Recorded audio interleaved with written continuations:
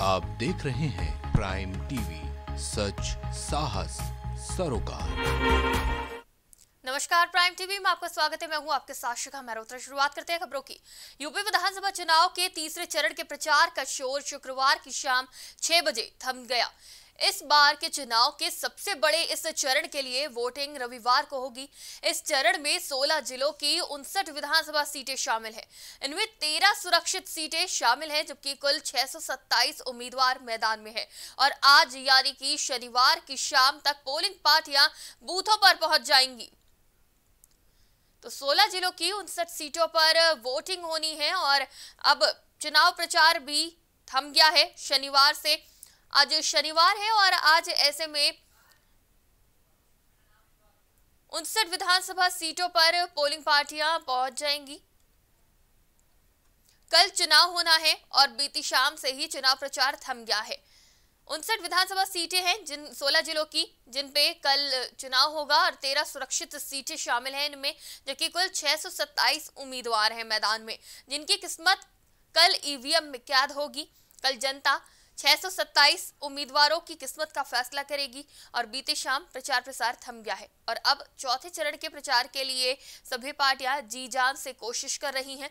16 ऐसे ज़िले हैं जहाँ पे कल चुनाव होना है, यानी कि रविवार को। काफ़ी अहम है और अहम इसलिए भी है क्योंकि अब यादव लैंड माना जा रहा है, जो जिन जगह पे चुनाव है ये यादव लैंड माना जाता है और यादवों के वोट माना जाता है कि सपा की तरफ़ ज़्यादा जाते हैं। तो सपा की तरफ़ जाएँगे या फिर इनमें भी बंटवारा होगा, बिखराव होगा, ये देखना दिलचस्प होगा। पूरी ताकत झोंक दी है बीजेपी की तरफ़ से भी, अन्य पार्टियों की तरफ़ से भी और अखिलेश यादव की समाजवादी पार्टी की तरफ़ से भी पूरी जी जान से कोशिश करी गई है। और इस बार जिन जिन जगह पे चुनाव है, वहाँ पे सबसे ज़्यादा यादव वोटर है। सबसे पहले दो चरण के चुनाव हो चुके हैं और दोनों में ही किसान सबसे ज़्यादा थे, जाट सबसे ज़्यादा थे और साथ ही साथ मुस्लिम वोटर्स दूसरे चरण में सबसे ज़्यादा देखे गए। अब तीसरे चरण में जैसे जैसे हम लोग, जैसे जैसे ये चुनाव पूर्वांचल की ओर बढ़ रहा है, पूर्वी हिस्से में बढ़ रहा है, वैसे वैसे ये दिलचस्प होता जा रहा है। उत्तर प्रदेश में सात चरणों में मतदान है और ऐसे में हर वर्ग हर वर्ग अहम है इस चुनाव में, क्योंकि ऐसा माना जाता है कि जो उत्तर प्रदेश की राजनीति है, वो जाति धर्म के इर्द गिर्द घूमती है। तो जाति धर्म, पहले के दो चुनाव में ये देखा गया है कि अच्छी खासी वोटिंग हुई है और सभी जाति धर्म के लोगों ने बढ़ चढ़कर हिस्सा लिया और ऐसा भी माना जा रहा है, जितने भी लोगों से, जनता से, मतदाताओं से, हमारे संवाददाता ने बात करी, ये देखा गया है कि इस बार के चुनाव जाति धर्म से हटकर विकास के मुद्दों पर हो रहे हैं। बदलाव चाहती है जनता जनता जागरूक हो चुकी है, मतदाता अपने मत का प्रयोग ऐसे प्रत्याशी के लिए करना चाहते हैं, जो जनता के लिए काम करे, जो जनता के सुख दुख में खड़ा हो, जो विकास के मुद्दों पे काम करे, ना कि जाति धर्म को देख के वोट मांगे और ना ही जनता इस बार जाति धर्म को देख के वोट देना चाहती है। तो इस बार के चुनाव काफ़ी दिलचस्प है क्योंकि इस बार कई मुद्दे हैं। वो सुरक्षा का हो, स्वास्थ्य का हो, विकास का हो, महिलाओं का हो। इस बार महिलाओं का मुद्दा भी काफ़ी ज़ोर शोर से उठ रहा है क्योंकि कांग्रेस ने पूरा ज़ोर महिलाओं पे दिया है। महिलाओं को लेके इस बार की वोटिंग मानी जा रही है क्योंकि पिछले चुनाव में देखा गया था कि महिलाओं का जो वोट बैंक था, वो काफ़ी अच्छा था।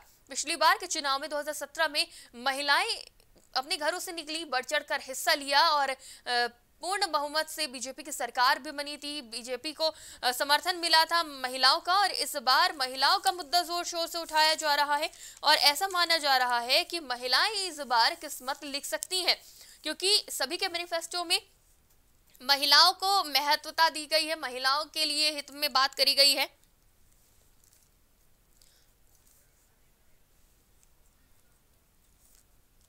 और इस खबर पे हमारे साथ कानपुर देहात से संवाददाता अभय जुड़ चुके हैं।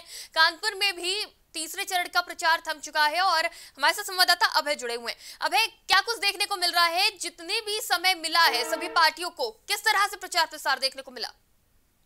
बिल्कुल बता दें कि लगातार जो तीसरे चरण का चुनाव प्रचार था, वो कल शाम छह बजे पर रोक दिया गया था। अब लगातार जो प्रत्याशी है, वो प्रचार नहीं कर सकते हैं, लेकिन कुछ प्रत्याशी ऐसे हैं जो अभी भी लगातार लोगों के पास जा रहे हैं, उनके जो समर्थक हैं, वो अब शांतिपूर्ण ढंग से लोगों के पास जा रहे हैं और अपनी बात रख रहे हैं और अपने पक्ष में मतदान करने के लिए लोगों को जागरूक करते नज़र आ रहे हैं। जी, अगर बात करी जाए कानपुर वोटरों की तो इसमें सबसे ज़्यादा कौन से वोटर शामिल है? बिल्कुल कानपुर देहात की चार विधानसभाएँ हैं। चार विधानसभाओं की जो पोलिंग पार्टियाँ हैं वो आज सुबह से ही डीएमएसपी की निगरानी में रवाना की जा रही हैं। और सब सिकंदरा विधानसभा की बात करें तो वहाँ पर पाल और कटिहार बहुमूल क्षेत्र है। सबसे ज़्यादा वहाँ पे पाल लोगों का योगदान अधिक होता है जो कि विधायक बनाते हैं या सांसद बनाते हैं तो वहाँ पर उन लोगों की गणित अधिक अच्छी बैठती है। यदि भोगनीपुर विधानसभा की बात करेंगे तो वहाँ पर यादव बहुमूल वोट अधिक है और मोहम्मदन वोट अधिक है। मुसलमानों का जो मतदान है वो अच्छा होता है। हर बार की पोलिंग 2017 का पोलिंग बूथ देखा जाए या 2019 का देखा जाए तो अच्छा निकलता है। जी। है, जिस तरह से बीजेपी ने अपनी पूरी ताकत झोंक दी है तीसरे चरण के लिए अच्छे अच्छे स्टार प्रचारकों को उतारा गया है, ऐसे वक्ताओं को उतारा गया है जिनकी बातें सीधा लोगों के मन में उतरती हैं। तो क्या कहेंगे इसे देख के? क्या इसका प्रभाव पड़ेगा जनता पे? बिल्कुल बता देंगे। उत्तर प्रदेश में स्टार प्रचारक की यदि बात की जाए तो कानपुर देहात में नरेंद्र मोदी से लेकर तमाम दिग्गज नेता, योगी आदित्यनाथ रहे हो, स्वामी प्रसाद मौर्य रहे हो, केशव प्रसाद मौर्य रहे हो, सभी दलों के सभी नेता ने पूरी ताकत अपनी कानपुर देहात में लगा रखी थी, क्योंकि ये कन्नौज का क्षेत्र माना जाता है। इसके पहले यहाँ से एक बार डिम्पल यादव भी कन्नौज से सांसदी लड़ी थी तो उनको हार का सामना पड़ा, करना पड़ा था। अभी 2017 की ही बात करें तो। अब सरकार ने पूरी ताकत लगा दी है। कानपुर देहात की जो सीटें हैं उनको निकालने के लिए। लेकिन कई सीटें ऐसी है जो की समाजवादी पार्टी या अन्य दलों के खाने में, में भी जा सकती है। जी अब है पूरे उत्तर प्रदेश में बीजेपी और सपा ही कांटे की टक्कर दे रही है। और कौन सी पार्टी कानपुर देहात में नज़र आ रही है जो कि चुनौती दे रही है दोनों ही पार्टियों को? बिल्कुल, रसूलाबाद में विधानसभा का जो चुनाव है, वो बहुत ही दिलचस्प चुनाव कहा जा सकता है जनता के लिए, क्योंकि बहुजन समाज पार्टी की जो प्रत्याशी है, वो भी जो बढ़त है, वो भी उनकी अच्छी बढ़त बनाए हुए चल रही है, क्योंकि अभी कांटे की टक्कर है और ऐसी सीट होने के कारण सभी जो प्रत्याशी है, वो अधिक यहाँ पर नहीं है, लेकिन इसके बावजूद भी जो टक्कर है वो समाजवादी और भारतीय जनता पार्टी की नज़र आ रही है। लेकिन बहुजन समाज पार्टी कहीं ना कहीं भारतीय जनता पार्टी के वोट बैंक को कम करती नज़र आ रही है। जी, कांग्रेस कहाँ देखने को मिल रही है? कांग्रेस ने जितना भी प्रचार प्रसार किया है, क्या लगता है उसके खाते में कोई सीट जा पाएगी?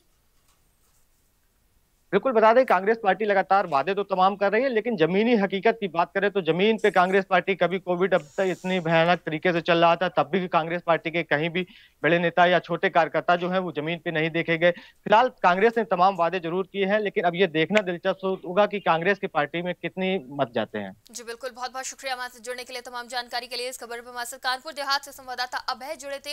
तो उन्होंने बताया की बीजेपी और सपा के बीच कांटे की टक्कर है, लेकिन बीएसपी भी वोट बैंक बिगाड़ सकती सकती है बीजेपी और सपा के खाते में जो जा रहे हैं वोटर्स बसपा के खाते में भी आ सकते हैं तो इससे समीकरण बदल ज़रूर सकता है। त्रिकोणीय समीकरण हम मान सकते हैं कि सिर्फ़ बीजेपी और सपा के बीच ही कांटे की टक्कर नहीं है, तीसरे चरण में बीएसपी भी है, जिसके खाते में वोट बैंक वोटर्स जा सकते हैं और वोट बैंक में बदलाव हो सकता है। तो अभी कुछ भी कहना मुश्किल है, क्योंकि दिलचस्प होता जा रहा है ये चुनाव। सभी के वोटर ऐसे हैं जो कि साइलेंट भी हैं और ऐसा माना जा रहा है कि कुछ भी हो सकता है, क्योंकि अगर बात करी जाए बीएसपी की तो बीएसपी के वोटर्स बहुत ज़्यादा स्ट्रांग माने जाते हैं साइलेंट वोटर्स माने जाते हैं और जब नतीजे सामने आते हैं तो वो हैरान करने वाले होते हैं, वो फिर चाहे किसी भी पार्टी के बीच में टक्कर क्यों ना हो। वो बीजेपी हो, सपा हो, दोनों ही पार्टियाँ अपनी अपनी पूरी ताकत लगा रही है और इसके बावजूद भी बीएसपी, जो कि कम नज़र आई है जमीनी तौर पर, लेकिन अभी भी ऐसे मतदाता ज़रूर हैं जो कि चाहते हैं कि बीएसपी की सरकार बने। तो तीनों के बीच काटे की टक्कर है। कांग्रेस ने भी अच्छा काम किया है। कांग्रेस की तरफ़ से जितना भी प्रचार प्रसार किया गया है तो ये चीज़ सामने आती है कि कांग्रेस ने मेहनत तो बहुत करी है, लेकिन वो कहीं गायब सी हो गई है। काफ़ी लंबे समय से गायब होने की वजह से कुछ कम दबा, दबदबा देखने को मिला है। हालाँकि पिछली बार के चुनाव में कांग्रेस ने कहीं भी नज़र नहीं आई थी, लेकिन फिर भी बिना मेहनत के ही कुछ पार्टियाँ उनके खाते में गई थी। लेकिन इस बार कांग्रेस काफ़ी मेहनत करती हुई नज़र आ रही है इस चुनाव में। और इस चुनाव में सभी दल अपनी अपनी पूरी ताकत झोंक रहे स्टार प्रचारक उतार दिए, लेकिन अगर वोट बैंक की बात करें तो वो बिखरे हुए हैं। ये नहीं कहा जा सकता कि जिस तरह से 2017 में योगी मोदी लहर थी तो एक ही तरफ़ पूरे वोटर्स चले गए थे। तो इस बार अलग देखने को मिल रहा है। इस बार क्योंकि जनता ने बहुत कुछ देखा है। वो चाहे कोरोना हो, पलायन हो, कई मुद्दे हैं जो विपक्ष द्वारा उठाए जा रहे हैं। तो इसका प्रभाव भी पड़ता हुआ सीधे तौर पर इन चुनावों पर नज़र आ रहा है। और इस खबर पर हमारे साथ ज़्यादा बातचीत के लिए संवाददाता विभांशु जुड़ चुके हैं।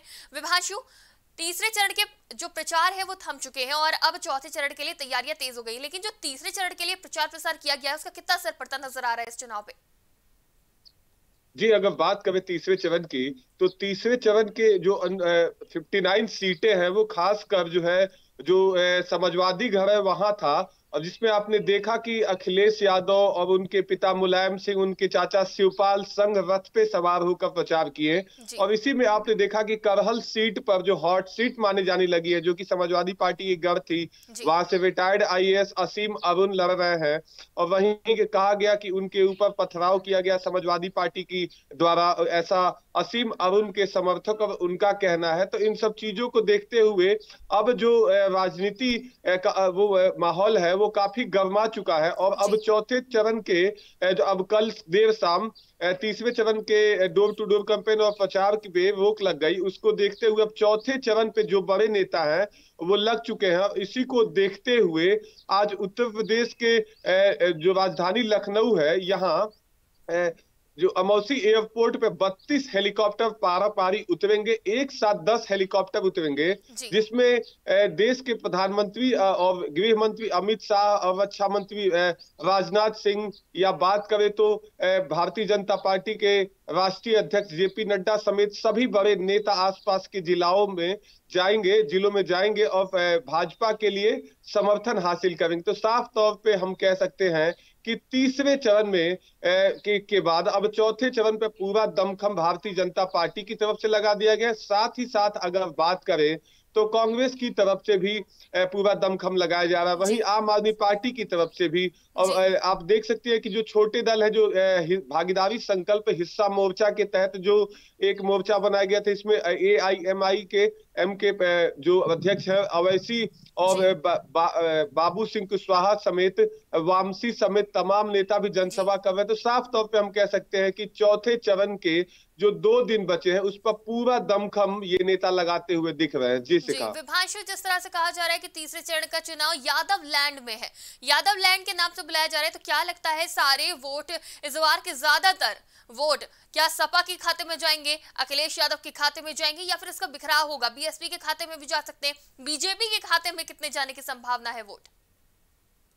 जी अगर बात करें तो पिछली बार के चुनाव में आपने देखा था कि बहुत बड़ी सेधमारी बीजेपी के द्वारा इन 59 सीटों पे की गई थी जिसमें साफ़ तौर पे यहाँ से राजधानी के विधानसभा की चाबी इस तीसरे चरण के मत जो सीटें हैं वहाँ से निकल के आई थी जिसमें साफ़ तौर पे जो समाजवादी पार्टी का गढ़ था वहाँ पे बीजेपी ने बहुत बड़ी सेधमारी की थी। इसको देखते हुए जो समाजवादी पार्टी है वो टिकटों के बंटवारा से के, के, को सावधानी से बांटने के साथ ही साथ वो जो बड़े नेता हैं उनको उतार कर और जो उनका गढ़ है उसको पूरा फिर से वापस से अपने कब्जे में लेने के हर एक मुमकिन प्रयास कर रही है। और वो की अब आने वाले 10 मार्च को पता चलेगा कि आखिर इस बार जो बीजेपी ने सेधमारी की थी फिर से वो से, उस पे कायम है या वापस से अपनी जो ज़मीन है उसको सपा लेने में कामयाब होती है। वहीं आपने देखा कि बीजेपी की तरफ़ से तमाम बड़े नेता इन सीटों पे जाकर अपना जो लोगों का समर्थन है उसे इकट्ठा कर रहे थे। वहीं अगर बात करें तो 627 प्रत्याशी अपने किस्मत का तीसरे चरण में भाग्य आजमाए थे। अब उसमें लगभग 59 विधायक बनकर आएँगे। अब अब 10 मार्च को पता चलेगा ये 59 कौन होंगे। जी। जी बिल्कुल। बहुत बहुत शुक्रिया हमारे जुड़ने के लिए तमाम जानकारी के लिए। इस खबर पर हमारे संवाददाता विभांशु जुड़े थे। तो तीसरे चरण का प्रचार प्रसार थम गया है और कल चुनाव होना है तीसरे चरण का और सभी मैदान में उतरे हुए हैं और कांटे की टक्कर दे रहे हैं। हालाँकि तीसरे चरण का प्रचार, प्रसार कम हो चुका है, लेकिन चौथे चरण के प्रसार के लिए, प्रचार के लिए पूरी ताकत झोंक दी गई है सभी दलों द्वारा।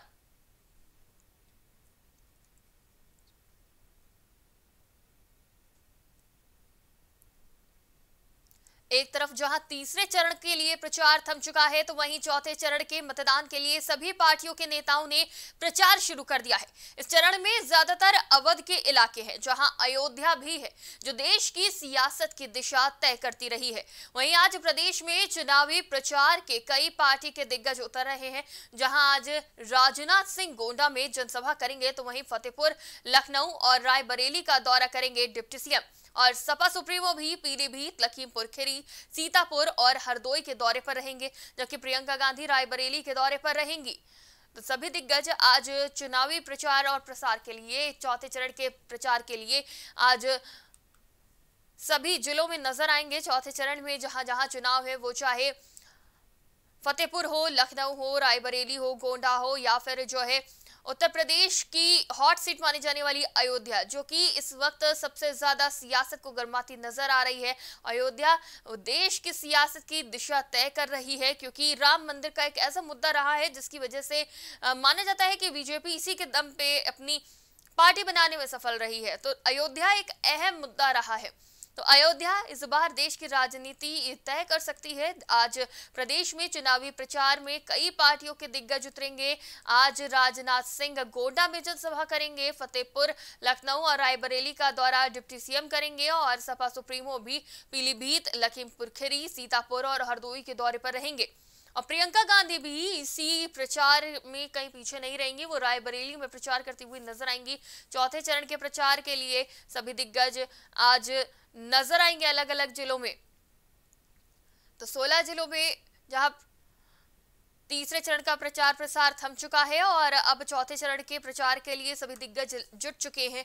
काफ़ी कम वक्त बचा है और ऐसे में सभी की तैयारियाँ जोरों पर है। कई बड़े दिग्गजों को उतारा गया है बीजेपी की तरफ़ से और एक एक करके सभी चरण को पूरा करते हुए आगे बढ़ रहे सभी दल। जहाँ हमने देखा कि पहले, दूसरे और तीसरे चरण के लिए पूरी ताकत झोंक दी थी सभी पार्टियों ने और कोई ऐसा जिला नहीं छोड़ा जहाँ पे प्रत्याशियों के लिए चुनाव प्रचार प्रसार करते हुए नेता न नज़र आए हो। कई बड़े दिग्गज जमीनी स्तर पर उतरे और चाहे बीजेपी को सपा हो, कांग्रेस हो या फिर बीएसपी हो, सभी दलों के दिग्गज उतरे और आज भी कई जनसभाएँ देखने को मिलेंगी। बैक टू बैक जनसभाएँ देखने को मिलेंगी, वो चाहे सपा की हो, कांग्रेस की हो, बीजेपी की हो। बीजेपी के तो कई दिग्गज उतरने जा रहे हैं आज एक साथ। इसमें डिप्टी सीएम की बात करी जाए, वो राजनाथ सिंह और कई ऐसे बड़े नेता हैं जो कि आज जमीनी स्तर पर उतरकर जनता के बीच जाएँगे, जनता के बीच जाके चुनाव प्रचार करेंगे, अपनी पार्टी द्वारा किए गए कार्यक्रमों को बताएँगे, कामों को गिनाएँगे, विकास कार्यों को गिनाएँगे, विपक्ष पर निशाना साधते हुए नज़र आएँगे और कौन से ज़िले में कितना विकास कार्य मौजूदा सरकार में किया गया है, सभी का ब्यौरा देते हुए नज़र आएँगे। और इस खबर पे हमारे साथ ज़्यादा बातचीत के लिए फतेहपुर से संवाददाता अमरदीप जुड़ चुके हैं। अमरदीप क्या कुछ जानकारी है आज? कौन कौन से दिग्गज नज़र आएँगे फतेहपुर में? देखिए फतेहपुर जनपद में चौथे चरण का जो मतदान होना है वो तेईस फरवरी को होना है और इस तेईस फरवरी के लिए जो है पूरी तरीके से सारी पार्टियों ने अपनी चुनाव के लिए कमर कस ली है और आज फतेहपुर जनपद में एक साथ तीन तीन वीआईपी मूवमेंट हो रहा है। जिसमें कि फतेहपुर जनपद के बिल्की तहसील में ओवैसी का आगमन होना है और वहीं खागा विधानसभा में भाजपा के जिला भाजपा के प्रदेश अध्यक्ष स्वतंत्र देव सिंह को आना है और गाजीपुर में केशव प्रसाद डिप्टी सीएम केशव प्रसाद मौर्य को आना है। तो ये चौथे चरण का जो मतदान होना है उसमें सारी प्रत्याशियों ने अपने अपने स्टार प्रचारकों को बुला करके एक तरीके से अपने पक्ष में जन समर्थन करने के लिए या पक्ष में मतदान करने के लिए इन नेताओं को बुलाया गया है। अभी तक की यही स्थिति है। जी। जी फतेहपुर में कई दिग्गज उतर रहे हैं आज। अमरदीप सबसे ज़्यादा कौन से वोटर देखने को मिलते हैं फतेहपुर में? देखिए ऐसा है कि फतेहपुर जनपद की अगर बात करें तो फतेहपुर जनपद में मोस्टली जो है सारी जाति धर्म के लोग रहते हैं और सारे जात धर्म के लोग हाँ अगर ये कहा जा सकता है कि जैसे एक चलन पे बात है कि सपा यादवों के लिए हो गई ब्राह्मण ठाकुर और और ये आपके कहते हैं ठाकुरों के लिए उसके भाजपा के लिए हो गई। अगर हम शेड्यूल कास्ट की बात करें तो उसके लिए जो है बीएसपी की बात कही जाती है। इसके बाद बहुत सारी ऐसी पार्टियाँ हैं। अब रही बात अगर जो कांग्रेस कांग्रेस की अगर बात की जाए तो उसमें वो सभी का समर्थन लेके चलती है। पर अब ये देखने वाली बात है कि आखिरकार ऐसा क्या हो गया कि कुछ पार्टियाँ फ्रंट पे आ गई और कुछ पार्टियाँ डूबने की कगार पे पहुँच गई। जिस अमरदीप बीएसपी और कहा देखने को मिल रही है? क्योंकि भाजपा और सभा के बीच टक्कर देखने को मिल रही है तो बीएसपी क्या आ, वोटरों पर अपना प्रभाव डाल पाएगी? क्या बीएसपी के खाते में सबसे ज़्यादा वोट जा सकते हैं? क्या चौथे तीसरे चरण में क्या कुछ बदलाव हो सकता है? देखिए ऐसा है कि तीसरे चरण के मतदान के बाद क्योंकि जो। ये रुझान आते हैं तो रुझान से बहुत सारी स्थिति स्पष्ट हो जाती है कि आखिरकार किसके पक्ष में मतदान किया और किसके पक्ष पे नहीं किया। जी। अगर हकीकत जानी जाए तो ये 10 मार्च को होने वाली मतगणना पे ही सारी तस्वीरें साफ़ आती हैं और। अगर ये कहा जाए कि बीएसपी के कैसे ये उसके ऊपर आएगी तो हमने आपसे बताया कि ये एक लोगों का एक सोचने की बात होती है। कि कौन किसके पक्ष में समर्थन करेगा कौन किसके पक्ष में समर्थन नहीं करेगा जी शिखा जी जी बिल्कुल बहुत बहुत शुक्रिया हमारे साथ जुड़ने के लिए और तमाम जानकारी के लिए इस खबर पर हमारे संवाददाता अमरदीप जुड़े थे फतेहपुर से तो चुनावी प्रचार के लिए कई दिग्गज उतर चुके हैं। चौथे चरण के प्रचार में सभी दिग्गज लगे हुए हैं। आज कांग्रेस की तरफ़ से भी प्रचार किया जाएगा, बीजेपी की तरफ़ से भी कई दिग्गज उतर रहे हैं और सपा की तरफ़ से सपा सुप्रीमो भी आज पीलीभीत, लखीमपुर खीरी और सीतापुर हरदोई में दौरा करते हुए नज़र आएँगे। जनता के बीच जाएँगे और जनता को संबोधित करेंगे। सरकार पर निशाना साधेंगे, अपनी सरकार के कार्यकाल के बारे में बताते हुए भी नज़र आएँगे। अपने कार्यकाल की उपलब्धियाँ गिनाएँगे सपा सुप्रीमो, पीलीभीत, लखीमपुर खीरी, सीतापुर और हरदोई में। तो वहीं रायबरेली में प्रियंका गांधी नज़र आएँगी और ऐसा माना जाता है कि रायबरेली में कांग्रेस का अच्छा प्रदर्शन देखने को मिलता रहा है। लेकिन इस बार की जनता क्या फैसला लेती है, ये तो वक्त ही बताएगा। लेकिन सभी प्रत्याशियों के लिए आज स्टार प्रचारक ज़मीन पर उतरकर वोट की अपील करेंगे और साथ ही साथ विकास के दावे वादे भी करते हुए नज़र आएँगे। तो चौथे चरण के लिए प्रचार तेज हो चुका है। और इस चौथे चरण में अवध के इलाके हैं, अयोध्या भी है, जो कि इस चुनाव में काफ़ी महत्वपूर्ण भूमिका रखता है। प्रदेश में चुनावी प्रचार में कई पार्टियों के दिग्गज उतर गए हैं। आज राजनाथ सिंह गोंडा में नज़र आएँगे। जनसभा करेंगे, फतेहपुर, लखनऊ और रायबरेली का दौरा करेंगे डिप्टी सीएम और वहीं फतेहपुर में एआईएमआईएम प्रमुख भी नज़र आएँगे, जनता को संबोधित करेंगे। सपा सुप्रीमो, पीलीभीत, लखीमपुर खीरी, सीतापुर और हरदोई में नज़र आएँगे। एक साथ चार जिलों का दौरा करते हुए नज़र आएँगे और पीलीभीत, लखीमपुर, खीरी, सीतापुर, हरदोई, इन सब वोटरों पे, यहाँ के वोटरों पे अपना प्रभाव डालते हुए नज़र आएँगे और विकास की बात करते हुए तो नज़र आते ही है सभी बड़े नेता, लेकिन जब कोई बड़ा चेहरा बीच में आता है तो काफ़ी समर्थन मिलता है। तो वहीं बीजेपी की तरफ़ से भी पूरी तैयारी है। हर ज़िले में प्रचार प्रसार करने में कोई कसर नहीं छोड़ी जाएगी। दिग्गजों को उतारा जाएगा। तो प्रियंका गांधी रायबरेली में भी कोई कसर नहीं छोड़ने वाली है जहाँ बीजेपी और सपा की तरफ़ से भी अ, कई बड़े चेहरे चुनाव में वोट की अपील करने और अपने प्रत्याशियों के लिए वोट मांगने आ चुके हैं। तो वहीं प्रियंका गांधी आज रायबरेली जाएँगी वहाँ पे प्रत्याशियों के लिए वोट की अपील करेंगी साथ ही दावे वादे करती हुई नज़र आएँगी। कई इस बार दावे वादे किए गए हैं जनता के लिए मैनिफेस्टो भी जारी किया गया है पार्टियों की तरफ़ से जनता को लुभाने के लिए। तो कसर कोई नहीं छोड़ी जा रही है। हालाँकि सबका फोकस इस वक्त चौथे चरण के प्रचार पे है।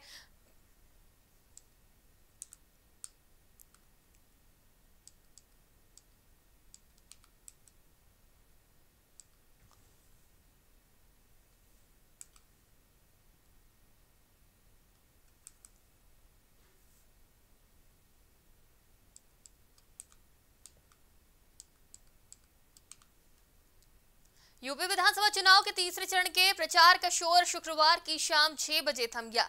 इस बार के चुनाव के सबसे बड़े इस चरण के लिए वोटिंग रविवार को, यानी कि कल होनी है और इस चरण में 16 जिलों की उनसठ विधानसभा सीटें शामिल है। इसमें 13 सुरक्षित सीटें शामिल है, जो कि कुल 627 उम्मीदवार मैदान में है और आज, यानी कि शनिवार की शाम तक पोलिंग पार्टियाँ बूथों पर पहुँच जाएँगी। सुरक्षा व्यवस्था के सारे इंतज़ाम होंगे। कोरोना गाइडलाइंस का पालन कराते हुए मतदान कराए जाएँगे और सभी तैयारियाँ पूरी कर ली गई हैं। सुबह सात बजे से शाम छह बजे तक मतदान कराए जाएँगे। तीसरे चरण का मतदान 20 तारीख को होना है 20 फरवरी को होना है और सभी दिग्गजों ने अब चौथे चरण के प्रचार के लिए अपनी पूरी ताकत झोंक दी है।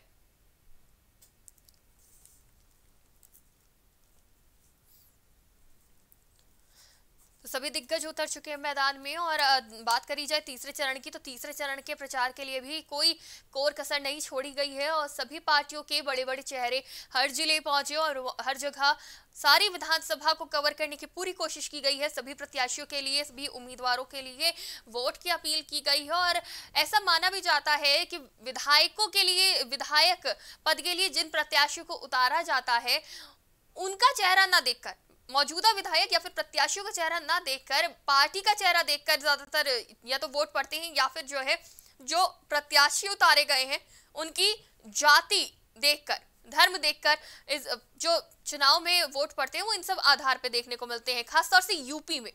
लेकिन विकास के मुद्दे को ध्यान रखा जा रहा है और कई सवाल उठाए गए और ऐसा देखने को भी मिला कि बीजेपी की तरफ़ से कई प्रत्याशियों के टिकट काटे गए। सपा ने भी कुछ बदलाव करे और बीएसपी की बात करें तो बीएसपी ने भी ऐसे चेहरों को उतारा है जिनको जनता का समर्थन मिलता आया है, जनता से प्रेम मिलता आया है। कांग्रेस अपनी पार्टी के और अपने मैनिफेस्टो के बलबूते और जनता के बीच जा रही है। सभी की अपनी अपनी रणनीति है जिसमें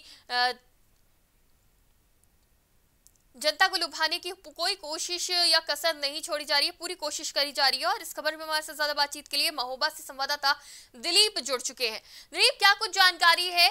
चुनाव सर पर है और ऐसे में क्या कुछ तैयारियाँ की गई हैं अभी तक प्रत्याशियों द्वारा और बड़ी बड़ी पार्टियों के दिग्गजों द्वारा?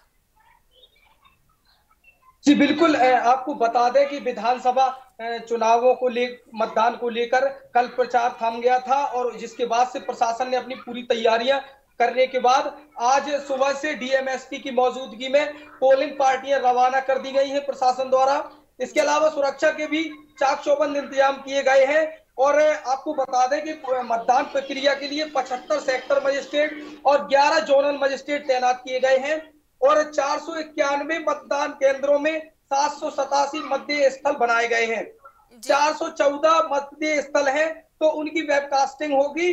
और ज़िले की दोनों विधानसभा सीटों पर करीब साढ़े छह लाख के आसपास मतदाता अपने मताधिकार का प्रयोग करेंगे। महोबा सदर में तीन लाख पंद्रह हज़ार तीन सौ निन्यानवे और चरखारी में तीन लाख पैंतालीस हज़ार छह सौ अट्ठावन मतदाता अपने मताधिकार का आने वाली बीस तारीख को यानी कि कल प्रयोग करेंगे। हालाँकि राजनीतिक पार्टियों ने अपने प्रचार प्रसार में भी कोई कोर कसर नहीं छोड़ी, लेकिन कल शाम के बाद, प्रचार थमने के बाद अब जो गुप्त रूप से डोर टू डोर जनसंपर्क है, प्रत्याशियों द्वारा, या पार्टी कार्यकर्ताओं द्वारा, वो किया जा रहा है, जबकि कहीं कोई प्रचार प्रसार नहीं किया जा रहा है। जी, दिलीप, अगर बात करी जाए तैयारियों की तो क्या कुछ तैयारियाँ देखने को मिल रही हैं? अभी पोलिंग बूथ पे क्या कुछ तैयारी देखने को मिलेगी? और जनता ज़्यादा से ज़्यादा अपने मत का प्रयोग करे, घर से निकले और ज़्यादा से ज़्यादा लोग वोट करें, इसके लिए क्या कुछ अपील करी जा रही है? प्रशासन द्वारा लगातार कैंपेन चलाकर और लोगों को जागरूक करने के लिए मतदान के लिए अपने मताधिकार का प्रयोग करने के लिए लगातार कई कार्यक्रमों के माध्यम से गाँव गाँव जाकर चौपाल लगाकर प्रशासन द्वारा लोगों को जागरूक किया गया। इसके अलावा जो राजनीतिक पार्टियाँ हैं उनके द्वारा और प्रत्याशियों के द्वारा भी लोगों को ये संदेश दिया जा रहा है कि अपने मताधिकार का प्रयोग ज़रूर करें। हालाँकि आपको बता दें कि बुंदेलखंड में पिछली बार जो बीजेपी की शानदार बढ़ती और उसको लेकर बीजेपी हो या सपा हो, कांग्रेस हो, बसपा हो, सभी पार्टियाँ एड़ी चोटी का ज़ोर लगा रही है महोबा ज़िले में। और जो मंचों से बड़े बड़े दावे हुए विकास से लेकर और फिर धार्मिक धर्म को लेकर और उसके बाद अब जातिवाद को लेकर, इस चीज़ से इनकार नहीं किया जा सकता कि कहीं ना कहीं आखिरी में ये चुनाव आकर जो पिछली बार एक लहर थी वो लहर ना होकर बड़ा फंसा हुआ दिख रहा है। जी। जी बिल्कुल। बहुत बहुत शुक्रिया हमारे साथ जुड़ने के लिए तमाम जानकारी के लिए। इस खबर पर हमारे साथ महोबा से संवाददाता दिलीप जुड़े थे। तो इस बार चुनाव जो होना है, यानी कि कल जो चुनाव होना उसके लिए तैयारियाँ पूरी हो चुकी हैं। कोविड प्रोटोकॉल का पालन कराते हुए चुनाव कराए जाएँगे और सभी तैयारियाँ पूरी कर ली गई हैं। आज पोलिंग पार्टियाँ बूथों पर पहुँच जाएँगी। तैयारियाँ पूरी हैं और सुरक्षा व्यवस्था का भी खासा ध्यान रखा जाएगा। इस बुलेटिन में फ़िलहाल इतना ही। तमाम खबरों के लिए देखते रहिए प्राइम टीवी।